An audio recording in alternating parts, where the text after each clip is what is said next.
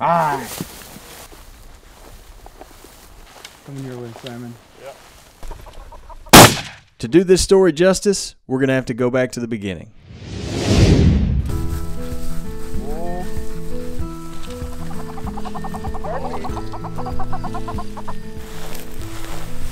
So we're out here a couple days before the season, just kind of getting the birds tuned up, letting them run a bit, working on some steadiness, and then I've got Freddie out here who's just figuring it out, so letting him go chase after birds and just be a puppy and have fun. This is first time, first season, first time on the prairie, six months. So Amos over here, he's two and a half, and just trying to keep him steady and and knock the rust off a little bit. So been a hot summer. It should be a, a good time. We're gonna run a little bit more uh, tomorrow, and then season starts and we're after him. It begins.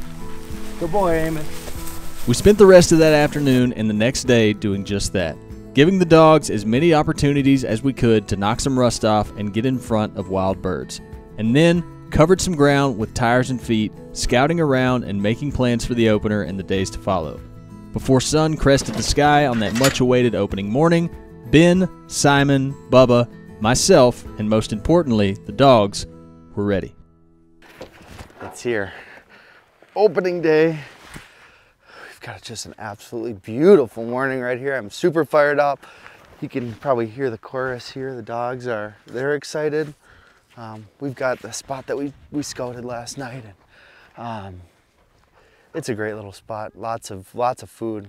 We'll see choke cherries, we'll see buffalo berries, rose hips, and you also see like this microterrain um, whether, you know, if you're hunting Sharpies, the big flat monoculture grass, not the best, but you'll see in here, it's just beautiful habitat. So we're gonna get, uh, get everything ready to go, send the dogs and hopefully find some birds. Here. We were less than 100 yards into our first walk of the morning before we were notified that both Ben's dog Amos and Simon's dog June had gone on point. Ha, pheasant, pheasant, pheasant, pheasant, pheasant. Good girl. Oh. uh, Amos is on point over here, but the thing is, there's a lot of young of the year pheasants. And if you don't know what you're looking for, it can be really tough to distinguish between them. So, oh, I got my heart going though. Oh. right in front of you. We pressed onward, No, but we didn't make it very far before Amos went on point again. Oh yeah, there's something here.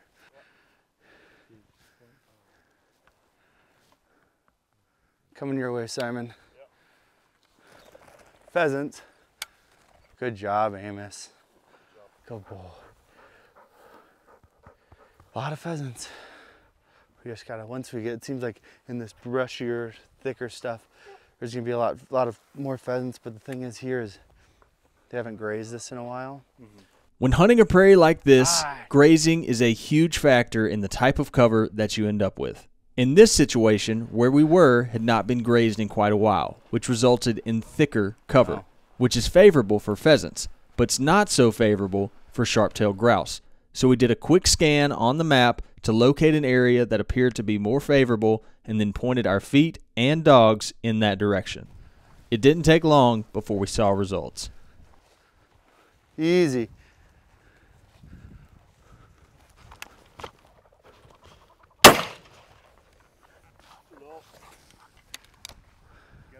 Yep.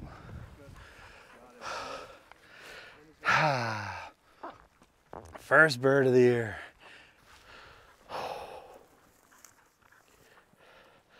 There we go. That's what we're after right there. Well, sharp-tailed grouse looks like a young of the young of the year bird. How they're just crazy. They're cool birds.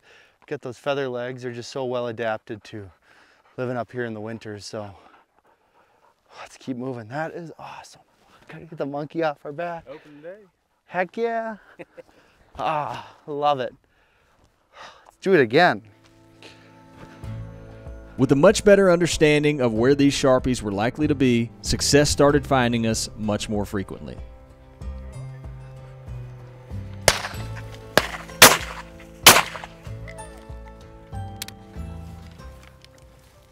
Good work, my friend. Look at that take on that thing. Oh, wow. Nice. Good job, Junie. That was job, awesome. girl. That was really good. That made me happy. Yeah. So the one thing that's interesting about this is like Sharpie's like about knee high grass. It's kind of thick, so when you're walking, you're tripping. And it doesn't look like this pasture has been burned or grazed for probably, I don't know, I'd say four or five years even. Starting to get a little thick, um, but obviously there's still birds in here, so we're gonna job. keep on keeping on. Good job, Probably head back to the truck, hunt our way back, grab some new dogs, and come back out again, just so we can. We've got the dog power. We don't want to burn them up in this heat. So, good work, Simon. Although we were on our way back to the truck, both June and Amos got birdie and eventually went on point before we could make it there.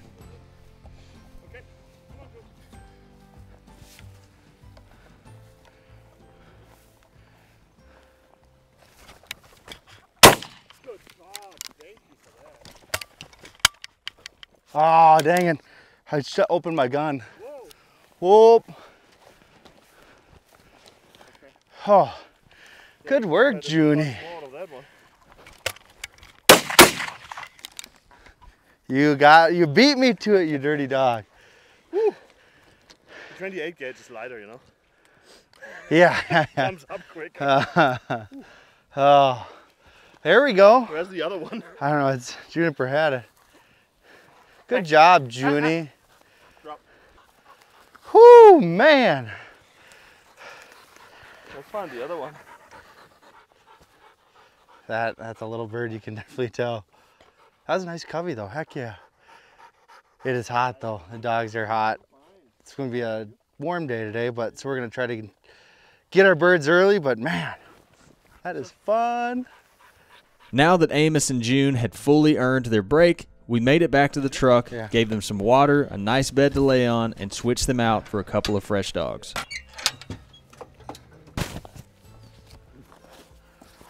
You got old Rip here. This is a buddy of mine, George Lyle's dog. He's a two-year-old pointer. He's a, he's a dang good dog for two years old right now. So we're gonna see if we can't get him into a few birds, right, Ripper?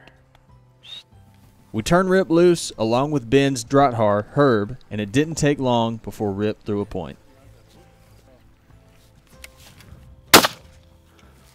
Good job, Rip. What can I say? You can't hit all of them. Fortunately, we didn't go too much further before Rip went on point again, just on the other side of this clump of Oh, cover. everyone goes, get up. Nice shot, Simon. You, Good job, Rip.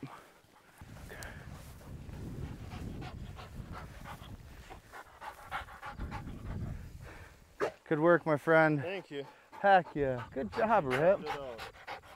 That was Simon's fourth sharp tail of the day, meaning he had reached his limit. Needless to say, we had had a very eventful opening morning. And with the heat of the day setting in, it was time to head back for the sake of the dogs. Well, that's opening day right there. It was, uh, you know, off to a little bit slower start, but then, then we got into them, and uh, you just uh, hunting early season sharpies is so much dang fun, and so we got our birds, and then actually we we took Simon and I took the cameras over, and Lake and Bubba got to shoot. Bubba got his first bird on his first shot, uh, so that was super cool, and uh, yeah, it got to be. I think it's probably about 80 degrees. It's 9:45 in the morning, so we're gonna load the dogs up. Uh, we're gonna actually head back, go to camp, clean the birds, and until then, hell of an opening morning. Starting out on the second morning, we went to a completely new spot with very different habitat than the opening morning. But we stuck with the two veteran dogs, Amos and June. They seemed completely re energized, so we turned them loose with high hopes.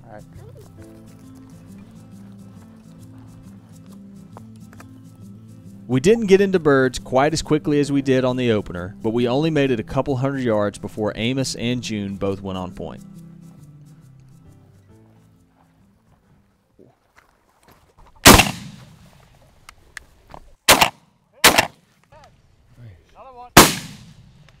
And just like that, we were on the board.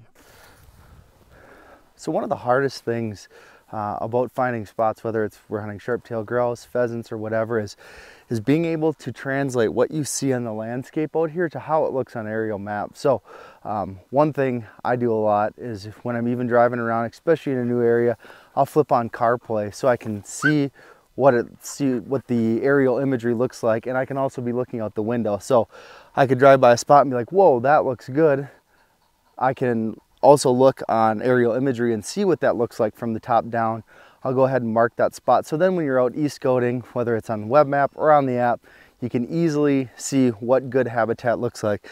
This is a perfect example of how I found the spot. I was driving around, whoa, that looks good. Was able to translate it, through a waypoint, and it paid off. After that last small covey find, we turned the dogs back loose and started covering ground again, back on the search for more grouse. Want to go just across and then Yeah, I want to go up here and then we'll cut back into Yep. The problem was, we weren't really finding it. We had all but given up on this spot before Amos slammed into a point.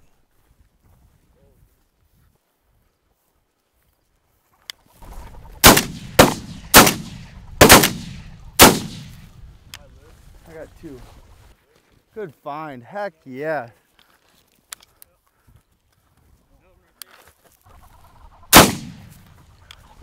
Whoa.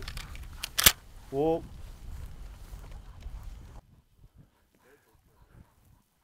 Heck yeah. Good job. Oh, Amos Mose. That was a good find, bud. I think we got another.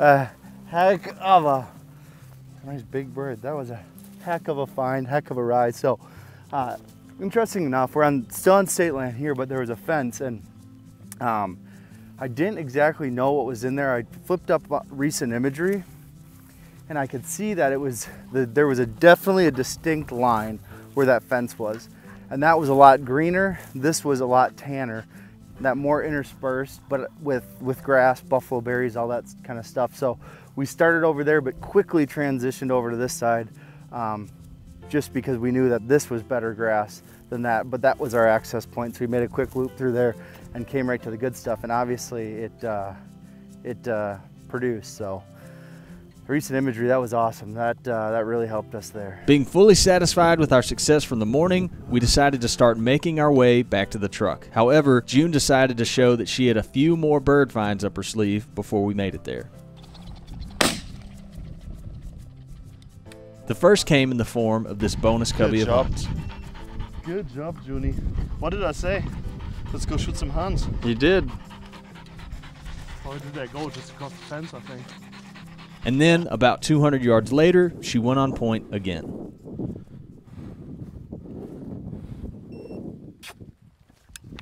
Another pheasant. Whoa!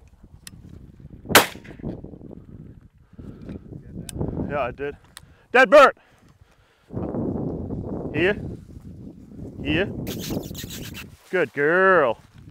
Give. Give. Good job. Good girl. Good job. That was a good point. Now, with our vest full of birds, it was time to get back to the truck, get the dogs some rest, and get ready for our third and final day of hunting. Man, it is an absolutely gorgeous morning. Temperatures have dropped a little bit. I think we're in the finally in the 50s. Um, we're at an app, just a gorgeous spot right here. Big rolling hills. Uh, should be sharpies, maybe a covey or two of huns, but it's just a really cool spot. And what you're really looking for, and what I've, you know, a lot of people when they've they've come up here and, and hunted, they they're like, man, I, I'm finding a ton of pheasants, but I'm not finding much for sharpies or huns.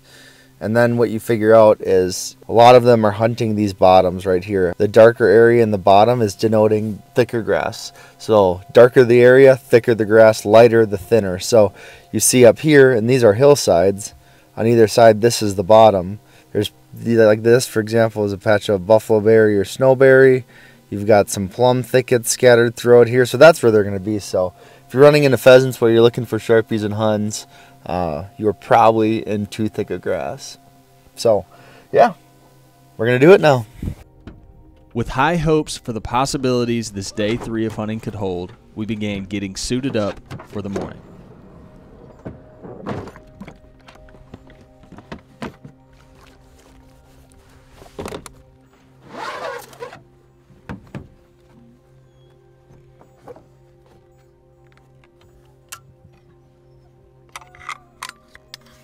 Biggest difference about this morning in particular is that the young puppy, Fred, was going to get his first chance to hunt.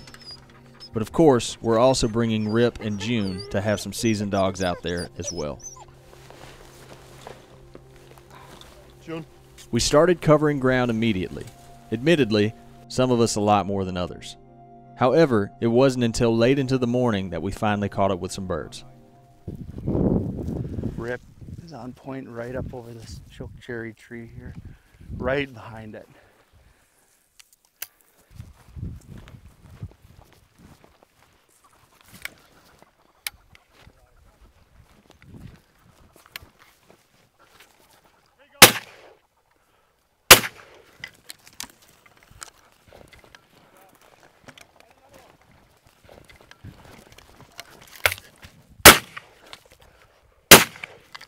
So a big mistake that a lot of people make when they're shooting grouse. Case in point, I did it right there. First bird gets up, two, three, four birds get up, a little bit outside of range. A lot of people will dump two shells into them, and then five, six will come up right dang near at your feet. So in that situation, try to just, it's hard to exert some patience because a lot of the times those birds are going to popcorn flush right out in front of you. So, but there were enough we were able to knock a few birds down. So that was fun. Let's go find them now.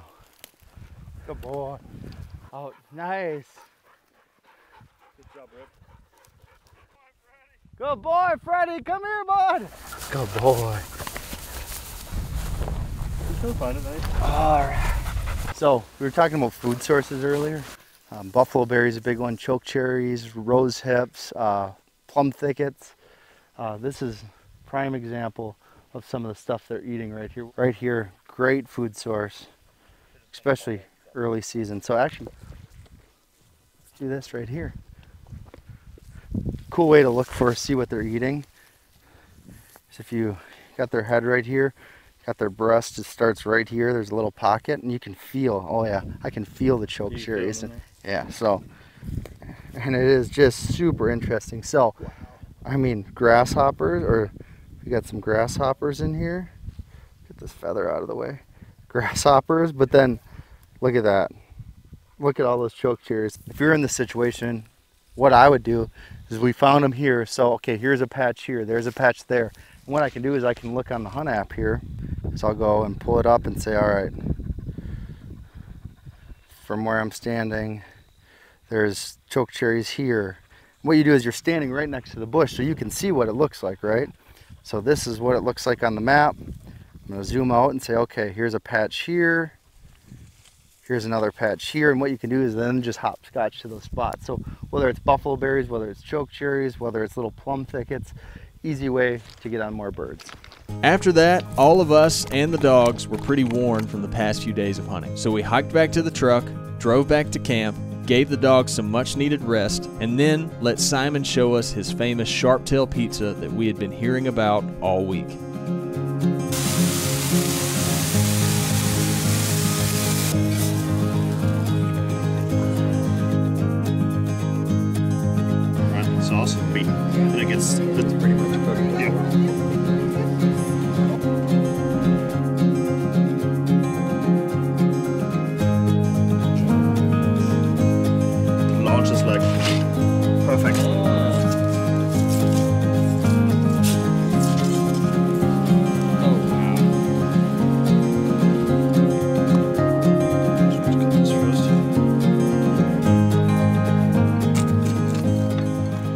All in all, it was a pretty great trip on the prairie.